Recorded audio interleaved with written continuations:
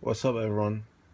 So I just came across a video by Globe Skeptic, um, where he found something quite amazing. Now, I had to think about this a couple of times um, before it made sense because basically what he found is that when you change the time of the compu- uh, the time on your computer, the ISS live tracker changes the position of where the ISS is on the map. Now, at first I thought, okay, so you put your clock forward one hour and it shows you where it's meant to be, right? Um, or where it will be.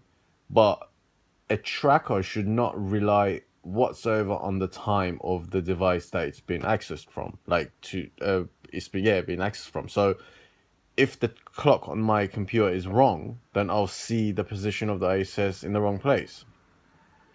So a tracker is just meant to send you a live feed of where the ISS is. And we're going to see in this instant that it doesn't do that at all. Now, Globe Skeptic, I'll put a link to his video below. He'll show you how changing the time on the computer affects the live ISS tracker. And I'm going to show you, I thought I'd try it on my iPad. So this one here is the most downloaded ISS spotting app, right? So we're going to open it. So it immediately asks me if I want to share my location, right? So we're going to say yes. Now, so here it is. You can see I can't move the map, but you can see where it is and how fast it's moving.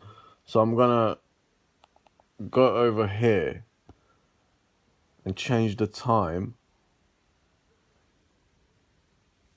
And I'm going to go forward, say two hours, right? And then go back and it's in a completely different position. So this proves that these are not trackers.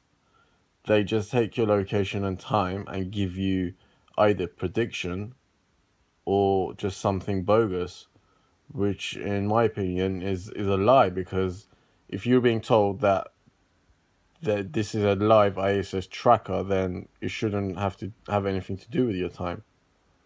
The time on your device. So Great find, Globe Skeptic. Um, we're going to put the link below. Alright, the earth is flat. Take care, guys.